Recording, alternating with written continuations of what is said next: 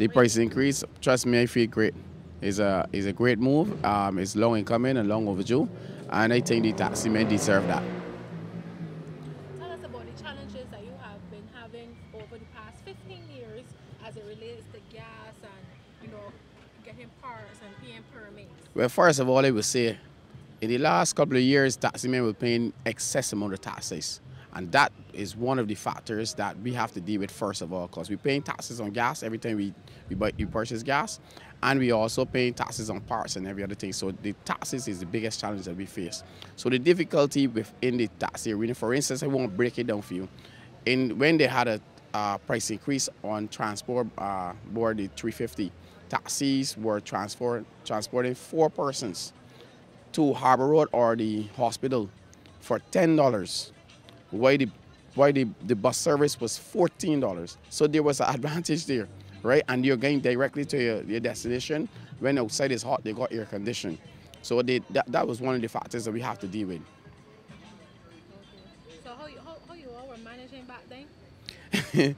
Well- like your, your home, your, your home, your household needs? Well, it, eh, the whole factor is that you you got to you got to you got to work with what you got. You you got to work with what you got. But I want to give thumbs up to the minister to come in to our aid so fast and helping us in such a short time. Cause we need it. We need it. As simple as it looks for some household that believe that taxi work is just about getting in a taxi and getting out at a destination, it takes a lot more. It's a concentration with taxis. We have to concentrate by taking you to your destination. Yes, you might have a few guys who just believe it's just about getting a taxi and driving it, but there are people who operate a taxi all year round as a business and a service. You have, um, in terms of um, whenever you get in a taxi, it starts with, first of all, it starts with, with, with the morning session where you have to purchase gasoline. That's where you start. So you start at a loss right there in before you can start working.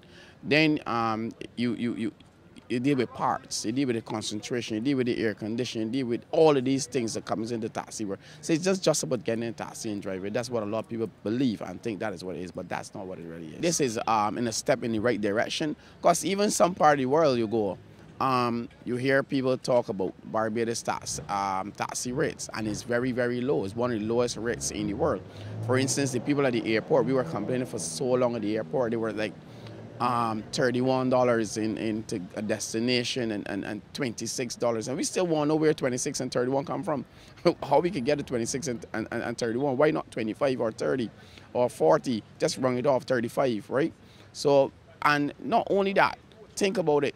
A person at a job site, once they're on the job, they get paid, whether it's $10 an hour, $8 an hour. But a taxi guy will sit down there and wait for two hours, three hours before they can get a job, right? So think about it. You're sitting down there for three hours, waiting to get a job, right? So all that is time factoring, right? So I believe at this present moment, this move is a perfect move for us, especially the guys who are working at the airport. I, I, my heart really goes out to them because they were suffering for a long time.